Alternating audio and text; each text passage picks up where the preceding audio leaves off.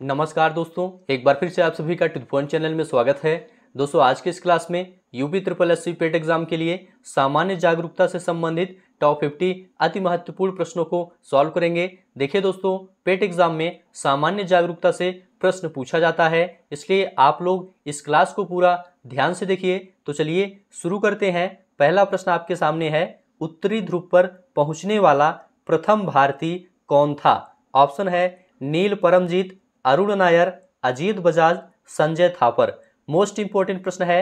देखिए दोस्तों, उत्तरी ध्रुव पर पहुँचने वाला प्रथम भारतीय अजीत बजाज थे, इसलिए तीसरा ऑप्शन राइट है। अजीत बजाज दोस्तों, एक भारतीय खोजकर्ता और एडवेंचर हैं और यह उत्तरी ध्रुव पर इसकी करने वाले पहले भारतीय हैं। इसकी का मतलब क्या होता है? इसकी का मतलब दोस्तों पाँव के नीचे लकड़ी या प्लास्टिक के तख्ते को बांधकर बर्फ़ पर फिसला जाता है। उसी को दोस्तों इसकी कहते हैं। चलिए आगे बढ़ते हैं। राष्ट्रपति का आदेश भारतीय संविधान के किस अनुच्छेद के तहत जारी किया गया, जो जम्मू कश्मीर राज्य के लिए संविधान में विभिन्न अपवादों और संशोधन की अनुमति देता है? ऑप्शन है अनुच्छेद 304 वनडी, दूसरा है अनुच्छेद 340 वनडी, तीसरा है अनुच्छेद 370 वनडी, चौथा है अनुच्छेद 314 वनडी। तो देखिए दोस्तों, यहाँ पर आपका राइट आंसर है, तीसरा ऑप्शन अनुच्छेद 370 वनडी। याद रखिएगा, राष्ट्रपति का आदेश भारतीय संविधान के अनुच्छेद तीन 370 वनडी के तहत जारी किया गया था, जो जम्मू कश्मीर राज्य के लिए संविधान में विभिन्न अपवादों और संशोधन की अनुमति देता है। वर्तमान में दोस्तों, अनुच्छेद 370 के सभी खंड को समाप्त कर दिया गया है। अब केवल एक खंड लागू रहेगा, इसे आप लोग याद रखिएगा। खंड एक क्यों लागू रहेगा? क्योंकि खंड एक कहता है कि जम्मू कश्मीर भारत का अभिन्न अंग है। इसलिए अनुच्छेद 370 का खंड एक लागू रहेगा। बाकी सभी खंड को समाप्त कर दिया गया है, इसे आप लोग याद रखिएगा। अगला प्रश्न है कर्नाटक में विश्व में सर्वाधिक संख्या में एशियन हाथी पाए जाते हैं। किस टाइगर रिज़र्व में? Nagarhole tiger reserve Ranthambore tiger reserve, Khanna tiger reserve, Bandhavgarh राष्ट्रीय पार्क। मोस्ट इंपॉर्टेंट प्रश्न है। देखिए दोस्तों, यहाँ पर आपका राइट आंसर है। पहला option Nagarhole tiger reserve. Nagarhole tiger reserve दोस्तों, कर्नाटक में स्थित है और यह एशियाई हाथी के लिए प्रसिद्ध है। यहाँ पर सर्वाधिक संख्या में एशियाई हाथी पाए जाते हैं। इसे याद रखिएगा। पहला ऑप्शन राइट है। आगे बढ़ते हैं। द गूगल स्टोरी नामक पुस्तक की रचना किसने की थी? ऑप्शन है Frederick Forsyth, Vikram Seth, David A Vise, Shobha De. Most important प्रश्न है। देखिए दोस्तों, गूगल स्टोरी डेविड विसे और मार्क मालसेट की एक पुस्तक है, जिसमें यह वर्णन किया गया है कि कंपनी की स्थापना कैसे की और यह अद्वितीय क्यों है। तो यहाँ पर दोस्तों तीसरा ऑप्शन राइट है David A Vise the Google story नामक पुस्तक की रचना। डेविड ए विसे ने की थी। तीसरा ऑप्शन राइट है। चलिए आगे बढ़ते हैं। सभी प्रश्न आप लोग ध्यान से देखते हुए चलिए। वर्ष 2011 की गणना के अनुसार भारत का कुल वनावरण क्षेत्र कितना है? ऑप्शन है सत्रह दशमलव आठ ज़ीरो प्रतिशत, तेईस दशमलव चार दो प्रतिशत, इक्कीस दशमलव ज़ीरो पाँच प्रतिशत, बाईस दशमलव ज़ीरो सात प्रतिशत। इंपॉर्टेंट प्रश्न है। देखिए दोस्तों, वर्ष 2011 की गणना के अनुसार भारत का कुल वनावरण क्षेत्र इक्कीस दशमलव ज़ीरो पाँच प्रतिशत है, इसलिए तीसरा ऑप्शन राइट है। इसे याद रखिएगा। अगला प्रश्न है, भारत रत्न और पद्म श्री पुरस्कार को वर्ष आरंभ किया गया, किस वर्ष में आरंभ किया गया, आपको यह बताना है। ऑप्शन है उन्नीस सौ चौंसठ, उन्नीस सौ अट्ठावन, उन्नीस सौ अड़सठ, उन्नीस सौ चौवन। मोस्ट इंपॉर्टेंट प्रश्न है। देखिए दोस्तों, यहाँ पर आपका राइट आंसर है चौथा ऑप्शन उन्नीस सौ चौवन। याद रखिएगा 2 जनवरी उन्नीस सौ चौवन को भारत के राष्ट्रपति ने दो नागरिक पुरस्कारों, भारत रत्न, जिसे सर्वोच्च नागरिक पुरस्कार कहा जाता है, और तीन स्तरीय पद्म विभूषण के आरंभ की घोषणा की थी। इसलिए चौथा ऑप्शन राइट है उन्नीस सौ चौवन। चलिए आगे बढ़ते हैं। कर्नाटक के हम्पी में स्थित कौन सा मंदिर स्थापत्य कला का एक उत्कृष्ट उदाहरण है? ऑप्शन है मीनाक्षी, लिंगराज विठल अक्षरधाम। मोस्ट इंपोर्टेंट प्रश्न है। देखिए दोस्तों, यहाँ पर आपका राइट आंसर है। तीसरा ऑप्शन विठल कर्नाटक के हम्पी में स्थित विठल मंदिर स्थापत्य कला का एक उत्कृष्ट उदाहरण है।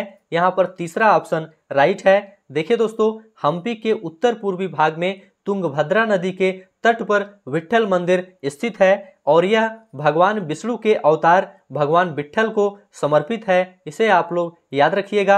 आगे बढ़ते हैं। किस प्रसिद्ध व्यक्ति के नाम पर एक लघु ग्रह का नाम रखा गया है? ऑप्शन है Milkha Singh A R Rahman Viswanathan Anand Sachin Tendulkar. Most important प्रश्न है। देखिए दोस्तों, यहाँ पर आपका राइट आंसर है तीसरा ऑप्शन, विश्वनाथन आनंद।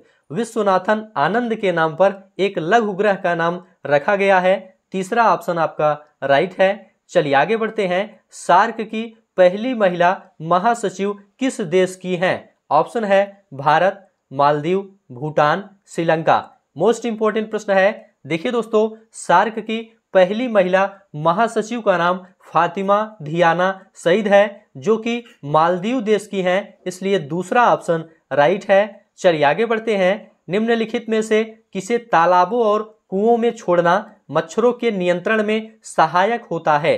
ऑप्शन है डॉग फ़िश, केकड़े, गैम्बूसिया फ़िश, घोघा। मोस्ट इंपोर्टेंट प्रश्न है। देखिए दोस्तों, यहाँ पर आपका राइट आंसर है तीसरा option gambusia fish. Gambusia fish दोस्तों, मच्छरों के लार्वा को खाती है और इससे मच्छरों की संख्या कम हो जाती है। इसलिए दोस्तों, तालाबों और कुओं में छोड़ना मच्छरों के नियंत्रण में सहायक होता है। गैम्बूसिया फ़िश यहाँ पर तीसरा ऑप्शन राइट है। चलिए आगे बढ़ते हैं। अगला प्रश्न है, सेना द्वारा प्रशासन तथा न्यायपालिका को अपने नियंत्रण में लेने के बाद कायदे कानून को क्या कहते हैं, आपको यह बताना है।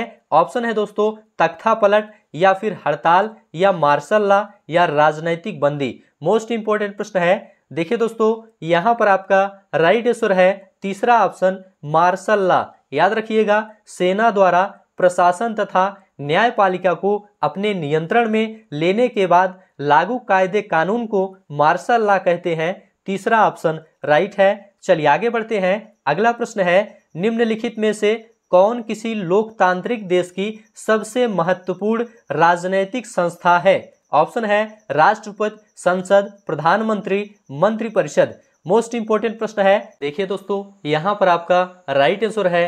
तीसरा ऑप्शन प्रधानमंत्री। याद रखिएगा, भारत जैसे लोकतांत्रिक देश में प्रधानमंत्री को सबसे महत्वपूर्ण संस्थान के रूप में संबोधित किया जा सकता है, क्योंकि दोस्तों, राष्ट्रपति जो होता है, वह राष्ट्र का नाम मात्र का अध्यक्ष होता है। उसकी तुलना में प्रधानमंत्री राष्ट्र का वास्तविक कार्यकारी अध्यक्ष होता है, इसलिए तीसरा ऑप्शन राइट है। चलिए आगे बढ़ते हैं। निम्नलिखित में से कौन राष्ट्रपति के चुनाव में हिस्सा नहीं लेते हैं? ऑप्शन है दोनों सदन के चुने हुए सदस्य, विधानसभा के चुने हुए सदस्य, दिल्ली तथा पुदुचेरी विधानसभा के चुने हुए सदस्य, विधानसभा के नामांकित किए गए सदस्य। इंपॉर्टेंट प्रश्न है। देखिए दोस्तों, राष्ट्रपति के चुनाव में विधानसभा के नामांकित किए गए सदस्य हिस्सा नहीं लेते हैं, इसलिए चौथा ऑप्शन राइट है। बाकी सभी दोस्तों, राष्ट्रपति के चुनाव में दोनों सदन के चुने हुए सदस्य हिस्सा लेते हैं, विधानसभा के चुने हुए सदस्य हिस्सा लेते हैं और दिल्ली तथा पुदुचेरी विधानसभा के चुने हुए सदस्य राष्ट्रपति के चुनाव में हिस्सा लेते हैं। यहाँ पर चौथा ऑप्शन राइट है। चलिए आगे बढ़ते हैं। जोग जलप्रपात किस नदी पर स्थित है? ऑप्शन है नर्मदा, कृष्णा, गोदावरी, सरावती। मोस्ट इंपोर्टेंट प्रश्न है। देखिए दोस्तों, यहाँ पर आपका राइट आंसर है चौथा ऑप्शन सरावती नदी। याद रखिएगा, जोग जलप्रपात सरावती नदी पर स्थित है। चौथा ऑप्शन राइट है। जोग जलप्रपात का निर्माण दोस्तों कर्नाटक के सिमोगा ज़िले में सागर तालुक के निकट सरावती नदी के द्वारा होता है। चौथा ऑप्शन राइट है। निम्नलिखित में से कौन सा पर्यावरण का अजैव घटक है? ऑप्शन है हरे पौधे, गैर हरे पौधे, पानी, परजीवी। मोस्ट इंपॉर्टेंट प्रश्न है। देखिए दोस्तों, अजैव घटक के अंतर्गत जल, प्रकाश, विकिरण, तापमान, आर्द्रता, वायुमंडल और मृदा ये सभी दोस्तों अजैव घटकों में शामिल हैं। इसलिए दोस्तों, यहाँ पर तीसरा ऑप्शन राइट है पानी। पर्यावरण का अजैव घटक यहाँ पर पानी है। तीसरा ऑप्शन राइट है। चलिए आगे बढ़ते हैं। निम्नलिखित में से कौन रबी फ़सल नहीं है? ऑप्शन है जौ, गेहूँ, मूंगफली, सरसों। मोस्ट इंपोर्टेंट प्रश्न है। देखिए दोस्तों रबी की फ़सलों के अंतर्गत गेहूँ, जौ, सरसों, मटर और तिल, ये सभी फ़सलें रबी फ़सल के अंतर्गत आती हैं। यहाँ पर दोस्तों, मूंगफली जो है, ये रबी फ़सल के अंतर्गत नहीं आती है। यह एक खरीफ फ़सल है, इसे याद रखिएगा। तीसरा ऑप्शन राइट है। आगे बढ़ते हैं। ट्वीडल शब्द किस खेल से संबंधित है? ऑप्शन है table tennis, lawn tennis, golf, तैराकी। मोस्ट इंपॉर्टेंट प्रश्न है। देखिए दोस्तों, ट्वीडल शब्द टेबल टेनिस से संबंधित है, इसलिए पहला ऑप्शन राइट है। चलिए आगे बढ़ते हैं। मधुबनी, भारत के किस राज्य की प्रसिद्ध लोक कलाकृति है? ऑप्शन है मध्य प्रदेश, झारखंड, बिहार, उत्तर प्रदेश। मोस्ट इंपोर्टेंट प्रश्न है। देखिए दोस्तों, मधुबनी, ये बिहार राज्य की प्रसिद्ध लोक कलाकृति है। तीसरा ऑप्शन राइट है। मोस्ट इंपोर्टेंट प्रश्न है। इसे आप लोग याद रखिएगा। आगे बढ़ते हैं। द रेड साड़ी किसके द्वारा लिखी गई है? ऑप्शन है Mamata Banerjee, Javier Moro, Malala Yousafzai Neel Mukherjee. Most important प्रश्न है। देखिए दोस्तों, यहाँ पर आपका राइट आंसर है। दूसरा ऑप्शन, जेवियर मोरो। याद रखिएगा, द रेड साड़ी सोनिया गांधी के जीवन का नाटकीय रूपांतरण है, जिसे स्पेनिश लेखक जेवियर मोरो द्वारा लिखा गया है। यह पुस्तक दोस्तों, मूलतः अक्टूबर 2008 में स्पेनिश भाषा में प्रकाशित की गई थी। इसे आप लोग याद रखिएगा। आगे बढ़ते हैं। निम्नलिखित में से कौन हिंद महासागर तटीय क्षेत्रीय सहयोग संघ IORA का सदस्य नहीं है? ऑप्शन है Bangladesh, Mauritius, Afghanistan, Bharat. Most important प्रश्न है। देखिए दोस्तों, यहाँ पर आपका राइट आंसर है। तीसरा ऑप्शन, अफ़गानिस्तान। देखिए दोस्तों इंडियन ओशिन रिम एसोसिएशन जिसे आईओआरए कहते हैं यह दोस्तों, हिंद महासागर की सीमा से घिरे 21 तटवर्ती देशों से बना एक अंतर्राष्ट्रीय संगठन है, और इसमें दोस्तों, अफ़गानिस्तान सदस्य नहीं है, तीसरा ऑप्शन राइट है। आगे बढ़ते हैं। स्मृति मंधाना एक हैं। स्मृति मंधाना कौन है? देखिए दोस्तों, स्मृति मंधाना बाएँ हाथ की बल्लेबाज और दाएँ हाथ की मध्यम गति की गेंदबाज हैं। यह दोस्तों, भारतीय महिला राष्ट्रीय क्रिकेट टीम के लिए खेलती हैं और जून 2018 में बीसीसीआई ने इन्हें सर्वश्रेष्ठ महिला अंतर्राष्ट्रीय क्रिकेटर नामित किया था। तो यहाँ पर दोस्तों, चौथा ऑप्शन राइट है, बाएँ हाथ की बल्लेबाज और दाएँ हाथ की गेंदबाज हैं। चौथा ऑप्शन राइट है, आगे बढ़ते हैं, पुलितजर पुरस्कार प्राप्त करने वाले पहले भारतीय कौन थे? ऑप्शन है, गोविंद बिहारी लाल संघमित्रा कलिता, झुम्पा लाहिड़ी गीता आनंद। मोस्ट इंपोर्टेंट प्रश्न है। देखिए दोस्तों, यहाँ पर आपका राइट आंसर है। पहला ऑप्शन गोविंद बिहारी लाल। देखिए दोस्तों, एक भारतीय अमेरिकी पत्रकार और स्वतंत्र कार्यकर्ता गोविंद बिहारी लाल उन्नीस सौ सैंतीस में पुलितजर पुरस्कार जीतने वाले पहले भारतीय थे। पहला ऑप्शन राइट है। आगे बढ़ते हैं। भारत में पेंटिंग के संदर्भ में निम्न में से कौन सा युग सुमेलित नहीं है? पहला है सौरा पेंटिंग उड़ीसा देखिए दोस्तों, सौरा पेंटिंग उड़ीसा से संबंधित है, इसलिए पहला सुमेलित है, दूसरा है बाघ पेंटिंग यह दोस्तों मध्य प्रदेश से संबंधित है, इसलिए यह भी सुमेलित है, तीसरा है फड पेंटिंग यह राजस्थान से संबंधित है, यह भी आपका सुमेलित है, चौथा है गुलेर पेंटिंग गुलेर पेंटिंग दोस्तों कर्नाटक से संबंधित नहीं है, इसलिए चौथा ऑप्शन सुमेलित नहीं है, गुलेर पेंटिंग दोस्तों कांगड़ा हिमाचल प्रदेश से संबंधित है, इसे आप लोग याद रखिएगा चलिए आगे बढ़ते हैं। A better India, a better world नामक पुस्तक के लेखक कौन है?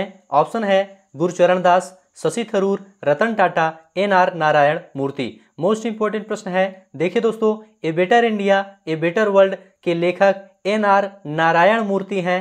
चौथा ऑप्शन राइट है। चलिए आगे बढ़ते हैं। गांधार कला शैली निम्न में से किस यूरोपीय देश की कला से प्रभावित थी? ऑप्शन है इटली, बेल्जियम, हंगरी, यूनान। इंपॉर्टेंट प्रश्न है। देखिए दोस्तों, गांधार कला शैली यूनानी शैली से काफ़ी प्रभावित थी, इसलिए चौथा ऑप्शन राइट है यूनान। चलिए आगे बढ़ते हैं। निम्न में से किस भारतीय राज्य की सीमाएँ उत्तर, दक्षिण और पश्चिम में बांग्लादेश की सीमाओं को स्पर्श करती हैं? ऑप्शन है असम, मेघालय, त्रिपुरा। मोस्ट इंपोर्टेंट प्रश्न है। देखिए दोस्तों, त्रिपुरा राज्य की सीमाएँ उत्तर, दक्षिण और पश्चिम में बांग्लादेश की सीमाओं को स्पर्श करती है इसलिए तीसरा ऑप्शन राइट है त्रिपुरा। चलिए आगे बढ़ते हैं। अफ़गानिस्तान सार्क में किस वर्ष शामिल हुआ था? ऑप्शन है 2007, 2008, 2005 2006 मोस्ट इंपॉर्टेंट प्रश्न है। देखिए दोस्तों यहाँ पर आपका राइट आंसर है पहला ऑप्शन 2007 अप्रैल 2007 में अफ़गानिस्तान सार्क के आठवें सदस्य राज्य के रूप में शामिल हुआ था। इसलिए पहला ऑप्शन राइट है। आगे बढ़ते हैं। भांड पाथेर रंगमंच मुख्य रूप से भारत के निम्न में से किस राज्य या केंद्र शासित प्रदेश की परंपरा है? ऑप्शन है दादरा और नगर हवेली, गोवा, जम्मू और कश्मीर, केरल। मोस्ट इंपॉर्टेंट प्रश्न है। देखिए दोस्तों, भांड पाथेर कश्मीर का सदियों पुराना पारंपरिक लोक रंगमंच है। यह आमतौर पर खुले स्थानों में आयोजित किया जाता है। यहाँ पर दोस्तों, तीसरा ऑप्शन जम्मू और कश्मीर। राइट है। चलिए आगे बढ़ते हैं। निम्न में से कौन सा बांग्लादेश का एक बंदरगाह है? ऑप्शन है चटगांव, फरीदपुर, राजशाही, ढाका। देखिए दोस्तों, यहाँ पर आपका राइट आंसर है। पहला ऑप्शन चटगांव। चटगांव, बांग्लादेश के दक्षिण पूर्वी तट पर स्थित एक बड़ा बंदरगाह शहर है। यह बंदरगाह बंगाल की खाड़ी का सबसे व्यस्त अंतर्राष्ट्रीय बंदरगाह और दक्षिण एशिया का तीसरा सबसे व्यस्त बंदरगाह है। इसे आप लोग याद रखिएगा। अगला प्रश्न है, निम्न में से किसे भारत रत्न नहीं मिला है? ऑप्शन है, Khan Abdul Ghaffar Khan Mother Teresa, Nelson Mandela, Baldev Singh. Most important प्रश्न है। देखिए दोस्तों, यहाँ पर आपका राइट आंसर है चौथा ऑप्शन, बलदेव सिंह। भारत के पहले रक्षा मंत्री बलदेव सिंह को भारत रत्न नहीं मिला है। चौथा ऑप्शन राइट है। यहाँ पर दोस्तों, Khan Abdul Ghaffar Khan, Mother Teresa, Nelson Mandela, इन सभी को भारत रत्न दिया गया है। चलिए आगे बढ़ते हैं। सभी प्रश्न आप लोग ध्यान से देखते हुए चलिए। चैनल को आप लोग सब्सक्राइब ज़रूर कर लीजिए। चलिए आगे बढ़ते हैं। छत्तीसगढ़ में किस वाटरफॉल को भारत के नियाग्रा फॉल्स के रूप में भी जानते हैं? ऑप्शन है हब्बे, मागोद, दूध सागर, चित्रकूट। इंपॉर्टेंट प्रश्न है। देखिए दोस्तों, छत्तीसगढ़ में चित्रकूट वाटरफॉल को भारत के नियाग्रा फॉल्स के रूप में भी जाना जाता है। चौथा ऑप्शन राइट है। आगे बढ़ते हैं। भारत के संविधान के किस अनुच्छेद के तहत संसद के सदन की बैठक शुरू करने के लिए गणपूर्ति की संख्या सदन की कुल सदस्य संख्या का दसवां हिस्सा होती है? ऑप्शन है अनुच्छेद 101, अनुच्छेद 100, अनुच्छेद 102, अनुच्छेद 103 इंपॉर्टेंट प्रश्न है देखिए दोस्तों भारत के संविधान के अनुच्छेद 103 के तहत संसद के सदन की बैठक शुरू करने के लिए गणपूर्ति की संख्या सदन की कुल सदस्य संख्या का दसवां हिस्सा होती है। दूसरा ऑप्शन राइट है। आगे बढ़ते हैं। द ओडेसिटी ऑफ़ होप पुस्तक किसने लिखी है? ऑप्शन है Bill Clinton, George Bush, Barack Obama, Bill Gates. Important प्रश्न है। देखिए दोस्तों, द ओडेसिटी ऑफ़ होप नामक पुस्तक बराक ओबामा ने लिखी है। तीसरा ऑप्शन राइट है। बराक ओबामा ने 2009 से 2017 तक संयुक्त राज्य अमेरिका के चौवालीसवें राष्ट्रपति के रूप में कार्य किया था। इसे भी आप लोग याद रखिएगा। नृत्य रूप डांडिया का किससे संबंध है? ऑप्शन है गणेश चतुर्थी, नवरात्रि, ओणम, बिहू। इंपॉर्टेंट प्रश्न है। देखिए दोस्तों, डांडिया को डांडिया रास के रूप में भी जाना जाता है। यह एक नृत्य रूप है जो नवरात्रि के समय गुजरात में किया जाता है। इसलिए दोस्तों, दूसरा ऑप्शन राइट है नवरात्रि। चलिए आगे बढ़ते हैं। निम्नलिखित खेलों में से कौन सा खेल देवधर ट्रॉफी से संबंधित है? ऑप्शन है golf, hockey, cricket football. Important प्रश्न है। देखिए दोस्तों, यहाँ पर आपका राइट आंसर है, तीसरा ऑप्शन क्रिकेट देवधर ट्रॉफी का संबंध क्रिकेट से है, तीसरा ऑप्शन राइट है। चलिए आगे बढ़ते हैं। सभी प्रश्न आप लोग ध्यान से देखते हुए चलिए। ये सभी प्रश्न काफ़ी ज़्यादा इंपॉर्टेंट है। निम्नलिखित में से हिंदुस्तानी शास्त्रीय संगीत का प्रसिद्ध घराना कौन सा विकल्प नहीं है? ऑप्शन है, पटियाला घराना, मेवाती घराना, ग्वालियर घराना, रजवाड़ी घराना।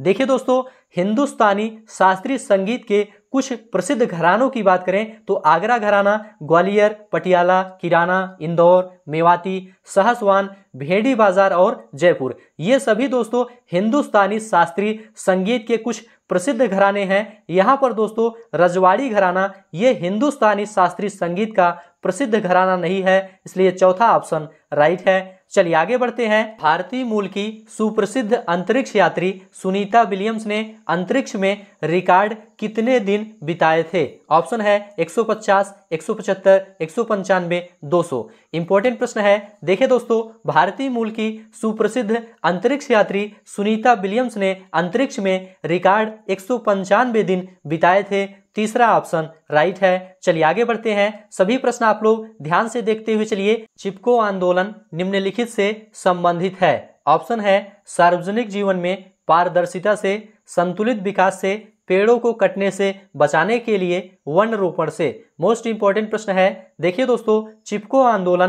पेड़ों को कटने से, बचाने के लिए चलाए गए आंदोलन से संबंधित है। इसलिए तीसरा ऑप्शन राइट है। आगे बढ़ते हैं। भूमि क्षेत्रफल के हिसाब से दुनिया का सातवां सबसे बड़ा देश कौन सा है? ऑप्शन है अर्जेंटीना, ऑस्ट्रेलिया, ब्राज़ील, इंडिया। देखिए दोस्तों, क्षेत्रफल की दृष्टि से दुनिया का सातवां सबसे बड़ा देश इंडिया है, इसलिए चौथा ऑप्शन राइट है। और जनसंख्या में दोस्तों, इंडिया का दूसरा स्थान है, इसे भी आप लोग याद रखिएगा। आज की दिशा क्या है? ऑप्शन है एक नेविगेशन वेबसाइट, भारतीय रेलवे की वेबसाइट पर एक चैट बॉक्स एक वेब मैपिंग सेवा जो यातायात की रियल टाइम स्थिति उपलब्ध कराती है। इंपॉर्टेंट प्रश्न है, देखिए दोस्तों, आज की दिशा भारतीय रेलवे की वेबसाइट पर एक चैट बॉक्स है, इसलिए दूसरा ऑप्शन राइट है। चलिए आगे बढ़ते हैं। निम्नलिखित में से कौन से देश भारत के पड़ोसी हैं? ऑप्शन है पाकिस्तान, सिंगापुर, श्रीलंका, भूटान। पाकिस्तान, श्रीलंका, नेपाल, बांग्लादेश। पाकिस्तान, ऑस्ट्रेलिया, रूस पाकिस्तान, नेपाल, इंडोनेशिया। इंपॉर्टेंट प्रश्न है। देखिए दोस्तों, यहाँ पर आपका राइट आंसर है। दूसरा ऑप्शन, पाकिस्तान, श्रीलंका, नेपाल और बांग्लादेश। ये दोस्तों भारत के पड़ोसी देश हैं। दूसरा ऑप्शन आपका राइट है। चलिए आगे बढ़ते हैं। सभी प्रश्न आप लोग ध्यान से देखते हुए चलिए। निम्नलिखित में से कौन सा भारत पाकिस्तान सीमा पर पारगमन बिंदु नहीं है? ऑप्शन है गंडा सिंह वाला, वाघा, अटारी, सीकर। इंपॉर्टेंट प्रश्न है। देखिए दोस्तों, भारत और पाकिस्तान सीमा पर पारगमन बिंदु कुल पाँच हैं। कौन कौन बाघा है, दूसरा है मुनाबाव, तीसरा है हुसैनी वाला चौथा है गंडा सिंह वाला और पांचवा है अटारी। ये कुल पाँच पारगमन बिंदु हैं भारत पाकिस्तान सीमा पर। यहाँ पर दोस्तों, सीकर जो है, ये भारत पाकिस्तान सीमा पर पारगमन बिंदु नहीं है, इसलिए चौथा ऑप्शन राइट है। आगे बढ़ते हैं। सचिन तेंदुलकर ने अपना सौवा शतक किस स्टेडियम में बनाया था? इंपॉर्टेंट प्रश्न है ऑप्शन है, Shere Bangla cricket stadium, Wankhede stadium Eden Garden Lord's cricket मैदान। देखिए दोस्तों, सचिन तेंदुलकर ने अपना सौवा शतक शेरे बांग्ला क्रिकेट स्टेडियम में बनाया था। पहला ऑप्शन राइट है।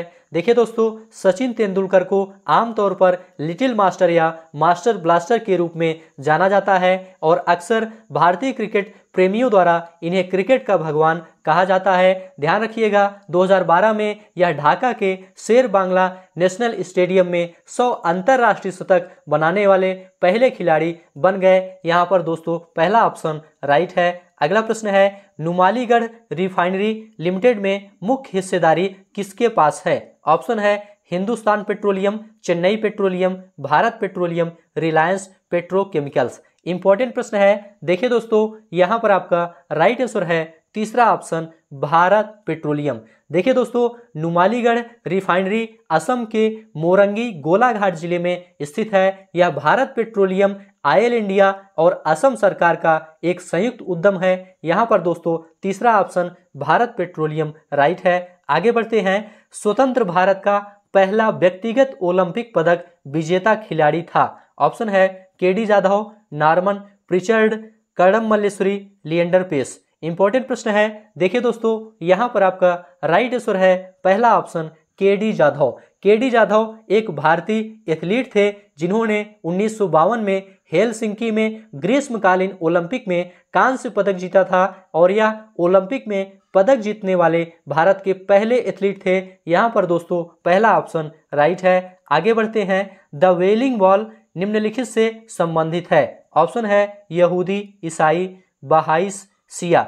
इंपॉर्टेंट प्रश्न है। देखिए दोस्तों, यहाँ पर आपका राइट आंसर है पहला ऑप्शन यहूदी। द वेलिंग बॉल, जिसे कोट्टल पश्चिम दीवार या सोलोमन की दीवार के रूप में भी जाना जाता है। या दोस्तों, यहूदियों से संबंधित है। पहला ऑप्शन राइट है। आगे बढ़ते हैं। पेरियार वन्य जीव अभ्यारण्य किस राज्य में स्थित है? उत्तर प्रदेश, केरल, मध्य प्रदेश, महाराष्ट्र। मोस्ट इंपोर्टेंट प्रश्न है। देखिए दोस्तों, पेरियार वन्य जीव अभ्यारण्य केरल में स्थित है, इसलिए दूसरा ऑप्शन राइट है। आगे बढ़ते हैं। गोदान के लेखक कौन है? ऑप्शन है श्री लाल शुक्ल, मनमोहन श्याम जोशी, हरिवंश राय बच्चन, मुंशी प्रेमचंद। मोस्ट इंपोर्टेंट प्रश्न है। देखिए दोस्तों, यहाँ पर आपका राइट आंसर है चौथा ऑप्शन मुंशी प्रेमचंद। गोदान के लेखक मुंशी प्रेमचंद हैं। चौथा ऑप्शन राइट है। आगे बढ़ते हैं। पैठनी महाराष्ट्र की कौन सी एक शैली है? ऑप्शन है नृत्य, कृषि, कपड़ा बुनाई, शास्त्रीय संगीत। इंपॉर्टेंट प्रश्न है। देखिए दोस्तों, पैठनी महाराष्ट्र की कपड़ा बुनाई की एक शैली है तीसरा ऑप्शन राइट है पैठनी की बात करते हैं तो पैठनी दोस्तों, एक किस्म की साड़ी है, जिसका नाम महाराष्ट्र राज्य के औरंगाबाद में पैठान शहर के नाम पर रखा गया है, जहाँ पर साड़ी पहले हाथ से बनाई जाती थी। तो यहाँ पर दोस्तों, तीसरा ऑप्शन राइट है। इस प्रकार से दोस्तों, आज की यह क्लास यहीं पर समाप्त होती है। यह क्लास आपको कैसा लगा, आप लोग ज़रूर बताइए। अच्छा लगा है तो चैनल को सब्सक्राइब करिए, दोस्तों में शेयर करिए और कमेंट में लिखकर ज़रूर बताइए। इस क्लास की पीडीएफ प्राप्त करना चाहते हैं या पेट एग्ज़ाम के संपूर्ण क्लास की पीडीएफ और नोट्स प्राप्त करना चाहते हैं तो डिस्क्रिप्शन में आपको टेलीग्राम चैनल का लिंक मिल जाएगा। वहाँ से आप लोग टेलीग्राम चैनल ज्वाइन कर लीजिए। टेलीग्राम चैनल ज्वाइन करने के बाद पेट एग्ज़ाम के संपूर्ण क्लास की पीडीएफ और नोट्स बहुत ही आसानी से आपको मिल जाएगा। तो अभी के लिए दोस्तों, बस इतना ही। अब आपको नेक्स्ट क्लास मिलेंगे किसी नए टॉपिक के साथ। तब तक के लिए आप सभी का बहुत बहुत धन्यवाद।